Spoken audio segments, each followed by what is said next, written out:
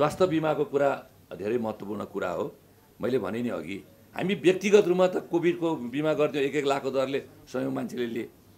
भने यो अहिले स्वास्थ्य र शिक्षाको ग्यारेन्टी गर्ने विषयमा यो सबैभन्दा महत्त्वपूर्ण विषयमध्येको एउटा बुँदा पनि त्यस कारण यसलाई अब मैले बुझेसम्म है म त भर्खर आइरहेको छु यहाँ।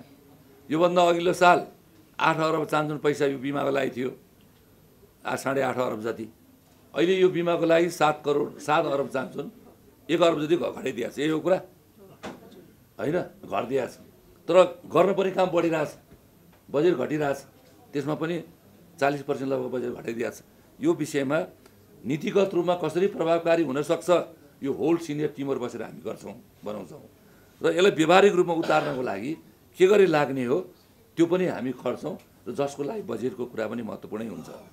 त्यो बजेट कटौती भएको अवस्थामा कसरी हामी यसलाई चाहिँ मेन्टेन गर्ने हो यो विषयमा हामी लाग्छौँ र यसलाई प्रायोरिटीका साथै हामी लाग्छौँ।